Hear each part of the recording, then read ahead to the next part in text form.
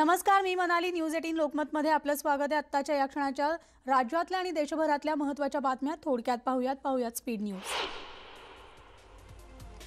अजित पवार हे शरद पवार यांच्या भेटीसाठी सिल्वर ओकवर गेलेले आहेत तर काल देवेंद्र फडणवीस यांच्या वक्तव्यानंतर या भेटीला आता महत्त्व प्राप्त झालंय. तर माजी मुख्यमंत्री देवेंद्र फडणवीस यांच्या राजकीय गोप्यस्फोटानंतर राष्ट्रवादी काँग्रेसकडून कोणतीही अधिकृत प्रतिक्रिया आलेली नाहीये. राष्ट्रवादीचे अध्यक्ष शरद पवार किंवा उपमुख्यमंत्री अजित पवार यावर काही बोलतायत का याकडे आता सगळ्यांचं लक्ष लागलंय. दोन हजार एकोणीसच्या विधानसभा निवडणुकीनंतर राष्ट्रवादी भाजपसोबत सत्तेत बसण्यासाठी तयार होती. त्यातील एका बैठकीला आपण स्वतः हजर होतो असा धक्कादायक खुलासा फडणवीसांनी केलाय. तर सर्वोच्च न्यायालयाचा निर्णय आमच्या बाजूनं असता तर आपण आणि अजित पवारांचे सरकार शंभर टक्के टिकलं असतं असा दावा सुद्धा यावेळेस त्यांनी केलाय.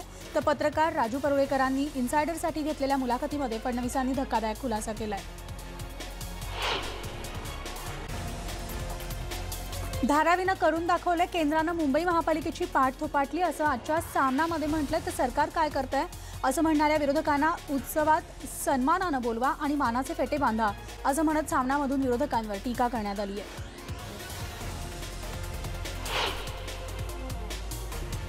तर सोलापूरचे सीआरपीएफ जवान सुनील काळे यांना अखेरचा निरोप देण्यात आलाय. शासकीय इतमामात सुनील काळे यांच्यावर अंत्यसंस्कार करण्यात आले आहेत. पुलवामा येथील बंडजू भागामध्ये अतिरेक्यांशी झालेल्या चकमकीमध्ये सीआरपीएफचे जवान सुनील काळे यांना वीरमरण आलं तर बार्शी तालुक्यावर पानगावावर शोककळा पसरली आहे. गेल्या तीन महिन्यांमध्ये ठाण्यामध्ये दोन आयुक्तांच्या बदल्या करण्यात आल्या तर ठाण्यातील वाढता कोरोना प्रादुर्भाव त्यांना भोवलेला असून आयुक्त विजय सिंगल यांची बदली करण्यात आली आणि त्यांच्या जागी बिपिन शर्मा यांची नियुक्ती करण्यात आली आहे. अपर मुख्य सचिव सीताराम कुंटे यांनी हे आदेश जारी केलेत. मुंबई स्थित सहकारी गृहनिर्माण संस्थांच्या संघटनेनं एक महत्त्वाची शिफारस केली आहे. घरकाम करणारे कर्मचारी आणि मेकॅनिक यांना इमारतींमध्ये प्रवेश दिला जावा अशी सूचना तिथल्या संस्थेनं केली आहे. कोरोनाची महामारी सुरू झाल्यापासून घरकाम कर्मचाऱ्यांना अनेक सोसायट्यांमध्ये बंदी होती. सुप्रसिद्ध नृत्य दिग्दर्शिका सरोज खान यांच्यावर सध्या मुंबईत उपचार सुरू आहेत. काल त्यांना अचानक श्वसनाचा त्रास होऊ लागलाय. तर त्यांना उद्या किंवा शुक्रवारी डिस्चार्ज मिळेल असं त्यांच्या कुटुंबियांनी म्हटलंय. सुदैवानं त्यांना कोरोना चाचणी त्यांची निगेटिव्ह आलेली असून सु- सरोज यांचं वय एकाहत्तर वर्ष आहे. जगभरामध्ये काल आणखी एक लाख बासष्ट हजार संक्रमितांची नोंद झाली आणि त्यामुळे एकूण संक्रमितांचा आकडा त्र्याण्णव लाखांहून अधिक झाला आणि गेल्या चोवीस तासामध्ये पाच हजार चारशे कोरोनाबाधितांचा मृत्यू झाल्यामुळे मृतांची एकूण संख्या चार लाख अठ्ठ्याहत्तर अठ्ठ्याहत्तर हजारांहून अधिक झाली आहे. तर मेक्सिको दक्षिण आफ्रिका बांगलादेश पाकिस्तान आणि सौदी अरेबिया हे देश संक्रमणाचे नवे हॉटस्पॉट बनले तर देशामध्ये आतापर्यंत चोवीस तासांमधील सर्वाधिक रुग्णांची नोंद झालेली असून गेल्या चोवीस तासामध्ये सर्वाधिक म्हणजेच पंधरा हजार नऊशे अडुसष्ट नवे रुग्ण वाढलेत आणि गेल्या चोवीस तासामध्ये चारशे पासष्ट जणांचा मृत्यूही झालाय.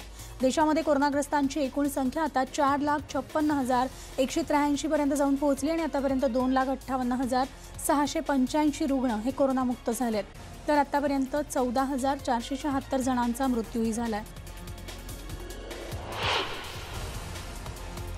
भारतात एक लाख लोकसंख्येमागे कोरोनामुळे फक्त एक मृत्यू झालेला असून कोरोना रुग्णांच्या मृत्यूचं प्रमाण हे जगातील सगळ्यात कमी असल्याचा दावा केंद्रीय आरोग्य मंत्रालयानं केला आहे मंत्रालयानं जागतिक आरोग्य संघटनेच्या ताज्या अहवालामधील आकडेवारी नमूद केली आहे आणि या आकडेवारीनुसार जगभरामध्ये एक लाखामागे कोरोना रुग्णांच्या मृत्यूचं प्रमाण सरासरी सहा पूर्णांक चार इतकं झालं आहे आणि ब्रिटनमध्ये एक लाखामागे त्रेसष्ट पूर्णांक तेरा आणि स्पेनमध्ये साठ पूर्णांक साठ असून तर रशियात पाच पूर्णांक बासष्ट मृत्यूचं प्रमाण झालं आहे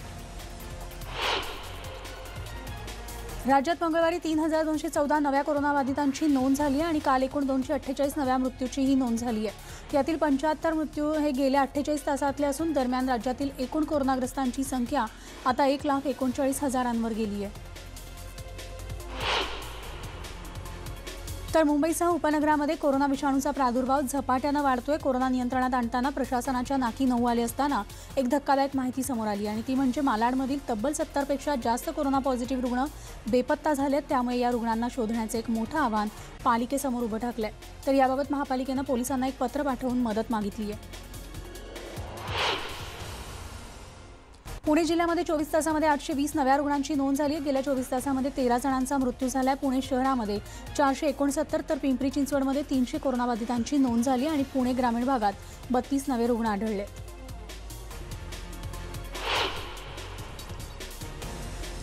लॉकडाऊन निर्बंध शिथिल झाल्यानंतर आता परप्रांतीय मजूर महाराष्ट्रात परतायला सुरुवात झाली आहे. पुण्यामध्ये आतापर्यंत एकशे चव्वेचाळीस रेल्वे गाड्यांमधून तीस हजार मजूर परतलेले आहेत अशी माहिती पुण्याच्या जिल्हाधिकाऱ्यांनी दिली आहे. कोरोना आणि लॉकडाऊनमुळे एकशे एकोणचाळीस रेल्वे गाड्यांमधून एक लाख ऐंशी हजार मजूर मूळ गावी गेले होते. पिंपरी चिंचवडमध्ये सार्वजनिक ठिकाणी किंवा प्रवास करत असताना देखील आता मास्क घालणं बंधनकारक करण्यात आलं आहे तर मास्कचा न वापर न केल्यास हजार रुपयांचा दंड आकारला जाणार आहे. आयुक्त डॉक्टर दीपक म्हैसेकर यांनी यासंबंधी सूचना दिल्या. आहेत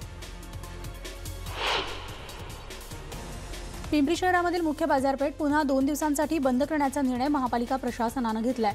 वारंवार सांगून देखील या बाजारपेठेमध्ये सोशल डिस्टन्सिंग आणि समविषम पद्धतीनं दुकानं सुरू ठेवण्यासाठी घालून दिलेल्या नियमांचं पालन होत नसल्यामुळे हा निर्णय घेण्यात आल्याची माहिती आयुक्त श्रावण हाडीकर यांनी दिली आहे.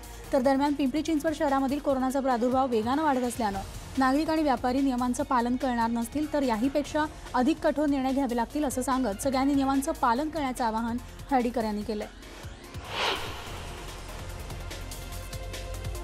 सध्या कोरोनाच्या रुग्णसंख्येमध्ये झपाट्यानं वाढ होत चाललेली आहे. त्यासाठी कोरोनाची चाचणी मोठ्या प्रमाणात करणं कठीण होत आहे आणि याच धर्तीवर I C M आरनं one minute six minutes test सुचवलेली असून याच पद्धतीचा अवलंब करत जिल्हाधिकारी यांच्या संकल्पनेनुसार आय एम ए आणि वैद्यकीय जनजागृती मंचाच्या वतीनं वर्ध्यातील दत्तपूर कंटेनमेंट झोनमध्ये असणाऱ्या नागरिकांची टेस्ट करण्यात आली आणि या टेस्टमध्ये सलग एक मिनिट उठावशा किंवा सहा मिनिटं चालत त्यांच्या शरीरातील ऑक्सिजन मोजण्यात आहे तर मंगळवारी दिवसभरामध्ये नाशिकमध्ये एकशे चोवीस नवे रुग्ण आढळले आहेत आणि चौदा मृत्यूची नोंद झाली आहे. नाशिक जिल्ह्यातील रुग्णसंख्या आता तीन हजारांच्या उंबरठ्यावर पोहोचली आणि जिल्ह्यात आतापर्यंत दोन हजार नऊशे अठ्ठ्याण्णव रुग्ण आहेत. मृतांचा आकडा एकशे एकोणनव्वदवर गेला तर सतराशे तेरा डिस्चार्ज देण्यात आल्यात आणि एक हजार तीस रुग्णांवर अजूनही उपचार सुरू आहेत. नाशिकमध्ये महापालिका दालनामध्ये कोरोनाचा शिरकाव झाला काल रात्री आलेल्या अहवालात नाशिक पालिकेचा स्वच्छता निरीक्षक सात ते आठ महिला वॉर्डन तसंच जिल्हा रुग्णालयामधील आयसीयू विभागामधील तीन ते चार डॉक्टर यांना कोरोनाची लागण झाली असल्याचं स्पष्ट झालं आहे औरंगाबादमधील सिद्धार्थ प्राणी संग्रहालयामधील करीना वाघिणीचा मृत्यू झाला आणि कालची करीना वाघिणीची तब्येत काल बिघडलेली होती. सहा वर्षाच्या वाघिणीचा उपचारादरम्यान मृत्यू झाला. गेल्या दोन दिवसांपासून वाघिणीनं खाणं पिणं सोडलेलं होतं आणि त्यामुळे खबरदारीचा उपाय म्हणून वाघिणीची कोरोना टेस्टही करण्यात आली होती. तर कोरोना टेस्टचा रिपोर्ट जो आहे तो आज अपेक्षित आहे. मात्र किडण्या निकामी झाल्यामुळे करीना वाघिणीचा मृत्यू झाला आहे बृहन्मुंबई महानगरपालिका आता मिशन युनिव्हर्सल टेस्टिंग हाती घेणार आहे आणि त्यामुळे लवकरच एक लाख अँटीजेन टेस्टिंग किट उपलब्ध होणार आहे. या किटच्या माध्यमातून फक्त अर्ध्या तासाच्या आत कोरोनाचा अहवाल कळू शकणार आहे. खासगी रुग्णालयांना सुद्धा या रुग्णालयांनी अँटीजेन टेस्टिंग किट खरेदी करण्याच्या सूचना देण्यात आलेल्या आहेत. मुंबईमध्ये एकीकडे सत्तर रुग्ण पळून गेल्याची घटना घडते आणि दुसरीकडे आठ जूनला मुंबई महापालिकेनं रुग्णालयांना दिलेल्या आदेशांची पायमल्ली केल्याचं दिसून येत आहे आठ जून रोजी एक परिपत्रक काढून महापालिकेनं सगळ्या रुग्णालयांना त्यांच्याकडच्या रुग्णांची आकडेवारी पालिकेला बिनचूक कळवावी असं सांगितलं होतं पण अजूनही आकडेवारीमध्ये घोळ कायम दिसून येतो आणि अजूनही पालिकेला मुंबईतील रुग्णालय सहकार्य करताना दिसत नाहीयेत मंगळवारी दुपारी तीन वाजून चव्वेचाळीस मिनिटांनी मुंबई छत्रपती शिवाजी टर्मिनसवरून कर्जतसाठी लोकल गाडी सुटली आणि तेव्हा जी गर्दी होती तीच गर्दी गाडीनं ठाणे रेल्वे स्थानक सोडल्यावर कायम होती. लॉकडाऊनच्या आधी ज्याप्रमाणे लोकलला गर्दी व्हायची त्याचप्रमाणे आजही तशीच गर्दी रेल्वेमध्ये होती आणि या लोकलमधील एक व्हिडिओ न्यूज एटीन लोकमतच्या हाती लागलाय.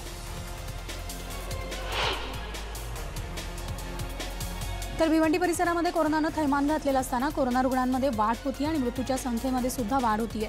असं असताना पूर्णा गावातील एका पंच्याऐंशी वर्षीय आजीबाईंनी कोरोनावर मात केली आहे तर बऱ्याहून घरी आल्यानंतर आजीबाईंच्या नातेवाईकांनी फुलांचा वर्षाव करून पुष्पहार घालून नारळ फोडून त्यांचं स्वागत केलं आणि त्यामुळे कोरोनाचा सामना करायचा असेल तर घरी राहा सुरक्षित राहा.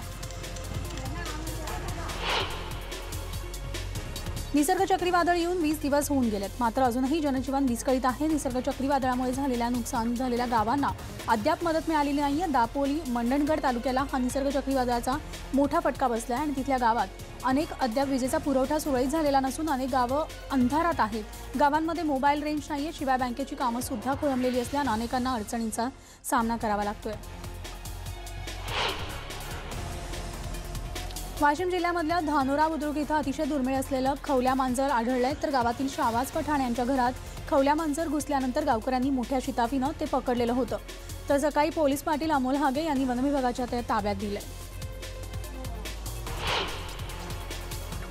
गडचिरोली जिल्ह्यामध्ये वाघाचा मृत्यू झाल्याची बाब उघड झाली. आहे. त्यामध्ये वनपरिक्षेत्राच्या हद्दीतील जंगलात ही घटना घडली आहे. काल संध्याकाळी वाघाचा मृतदेह पडून असल्याची माहिती गावकऱ्यांनी दिल्यावर वनविभागाच्या पथकानं जाऊन त्याची पाहणी केली आणि वाघाच्या शरीरावर जखमा आढळलेल्या आहेत ओरवाडलेल्या. तर जंग जंगलामधल्या अधिवासावरून दुसऱ्या भागाशी झालेल्या झुंजीमधून या वाघाचा मृत्यू झाल्याचा अंदाज वनाधिकाऱ्यांनी वर्तवला आहे. औरंगाबादमध्ये जालना रोडवर मध्यवर्ती बँकेसमोर बसनं एका पादचाऱ्याला चिरडलं आणि या अपघातामध्ये ती व्यक्ती गंभीर जखमी झाली आहे. तर त्याला उपचारासाठी रुग्णालयात दाखल करण्यात आलं. बसनं या व्यक्तीला दहा ते पंधरा फूट फरफटत नेलं असताना चालकाचं बसवरचं नियंत्रण सुटल्यानं हा प्रकार घडलाय. भिवंडी तालुक्यामधील मिठपाडा भागामध्ये दोन भांड्यांच्या दुकानाला भीषण आग लागली. या आगीमध्ये हजारो रुपयांची भांडी जळून खाक झाली तर अग्निशमन दल आणि नागरिकांनी मिळून दोन तासांनी या आगीवर नियंत्रण मिळवले. शॉर्ट सर्किटमुळे आग लागली असावी असा अंदाज आहे. चंद्रपूरमध्ये जंगली डुकरांनी गावात धुमाकूळ घातल्या. डुकरांनी तीन गावकऱ्यांना जखमी केले नागबीड तालुक्यामधल्या नौखळा इथं हा प्रकार घडलाय. एक जण गंभीर जखमी झालेला असून पुढील उपचारासाठी त्याला चंद्रपूर इथं पाठवण्यात आलं तर वर्ध्यामध्ये लांडग्याच्या हल्ल्यात नऊ जण जखमी झाल्यात एकाच दिवशी वेगवेगळ्या ठिकाणी या लांडग्यानं हल्ला केलाय. कारंजा तालुक्यामध्ये दोघांवर आणि आष्टी तालुक्यामध्ये लांडग्यानं सात जणांवर हल्ला केलाय. आष्टी तालुक्यामधील माणिकवाडा इथल्या दोन महिला आणि धाडी इथल्या लहान मुलासह चार जण जखमी झालेत.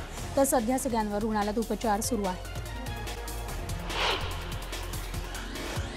अमरावती जिल्ह्यामध्ये यावर्षी मोठ्या प्रमाणात सोयाबीनच्या बोगस बियाण्यांची विक्री झाली आणि मान्सूनचा पाऊस चांगला झाल्यानंतर शेतकऱ्यांनी आपल्या शेतामध्ये सोयाबीनची पेरणी केली आहे. मात्र आता पेरणीनंतर चांगला पाऊस आल्यानंतर देखील शेतातले सोयाबीनचं बियाणं उगवलंच नाही त्यामुळे शेतकऱ्यांच्या एकरी सात हजार रुपये खर्च वाया गेलाय.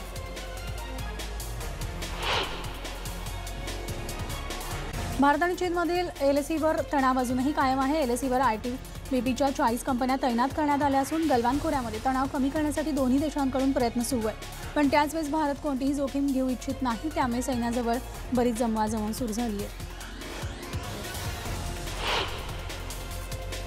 शासकीय खरेदी पोर्टल जेएमवर प्रत्येक उत्पादनावर मूळ देशाचं नाव असणं अनिवार्य करण्यात आलंय तर जेएमवर देशांतर्गत वस्तूंची टक्केवारी दाखवली जाणार आहे. मेक इन इंडियाला प्रमोट करण्यासाठी हा निर्णय घेण्यात आलाय.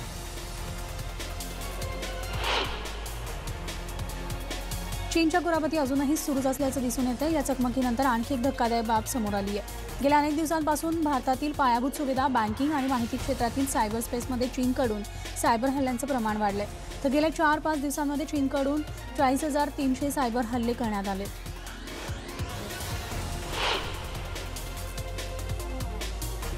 काँग्रेस कार्यकारिणीची काल बैठक झाली. या बैठकीमध्ये राजस्थानचे मुख्यमंत्री अशोक गहलोत यांनी काँग्रेस अध्यक्षपदाची जबाबदारी पुन्हा राहुल गांधींकडे देण्याची मागणी केली आणि या मागणीला अनेक नेत्यांनी पाठिंबा दिला. पुन्हा अध्यक्ष बनण्याच्या मागणीवर राहुल गांधींनी मात्र कोणतीही प्रतिक्रिया दिलेली नाही.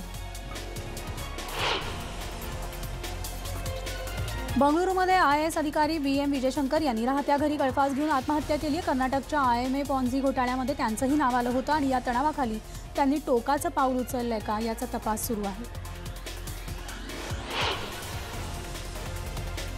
राजधानी दिल्लीमधील राऊस अव्हेन्यू कोर्टाच्या आवारामधील रेस्टरूममध्ये एका महिलेवर बलात्कार झालाय.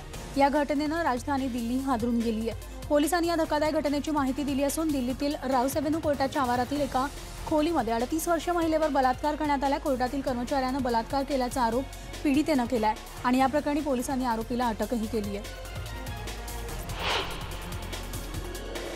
भारतीय बाजारामध्ये डिझेलच्या दरामध्ये वाढ सुरूच आहे. राजधानी दिल्लीमध्ये डिझेल पेट्रोलपेक्षा महाग होण्याची पहिलीच वेळ आहे. तर सलग अठराव्या दिवशी डिझेलच्या दरात आज वाढ झाली आहे आणि पेट्रोलचे दर काल इतकेच आहेत मागील अठरा दिवसामध्ये डिझेलच्या दरात प्रति लिटर दहा रुपये अठ्ठेचाळीस पैशांनी वाढ झाली आहे तर पेट्रोल आठ रुपये पन्नास पैशांनी महागलंय. संयुक्त राष्ट्राच्या सुरक्षा परिषदेमध्ये भारताला कायमस्वरूपी स्थान मिळावं यासाठी रशियानं पुन्हा एकदा पाठिंबा दर्शवलाय. तर सुरक्षा परिषदेमध्ये स्थायी सदस्यांची संख्या वाढवावी यावर अनेक वर्षांपासून चर्चा सुरू आहे.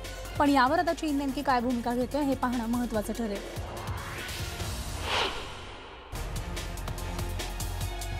मेक्सिको देशामध्ये काही तासांपूर्वी जोरदार भूकंप झालाय. रिश्टर स्केलवर त्याची तीव्रता सात पूर्णांक पाच इतकी असून या भूकंपामुळे चार मेक्सिकन नागरिकांचा मृत्यू झाला आणि काही ठिकाणी भूस्खलन झाले तर रस्ते देखील खचलेत. एक हजार किलोमीटरच्या परिघामध्ये सुनामीचा इशारा देण्यात आला आहे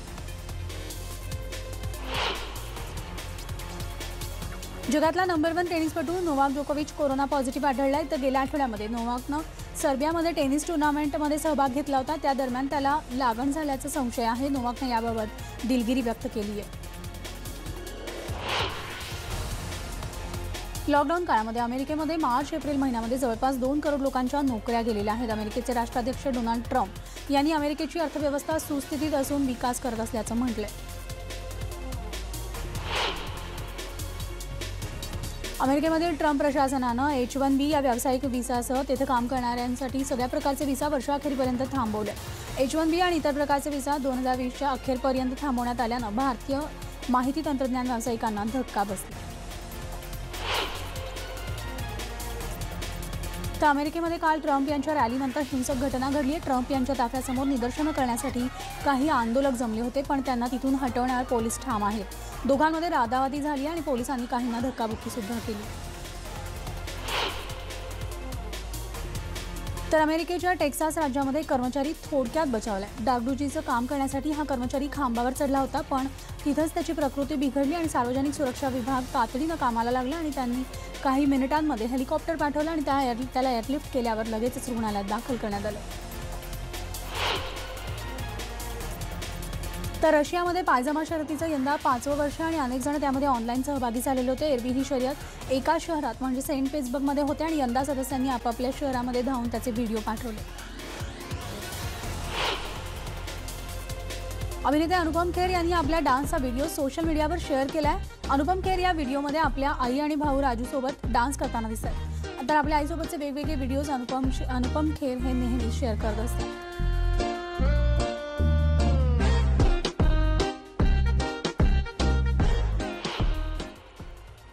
आणि यानंतर स्पीड न्यूजमध्ये एक छोटासा ब्रेक घेऊन लगेचच परततोय पाहत राहा न्यूज एटीन लोकमत.